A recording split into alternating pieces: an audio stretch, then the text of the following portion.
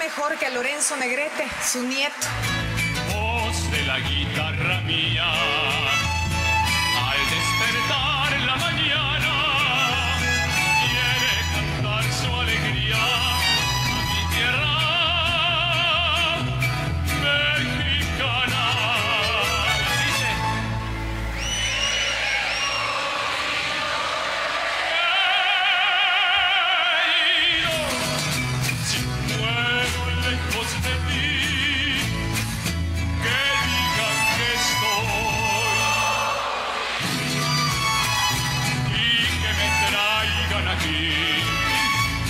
México lindo y querido,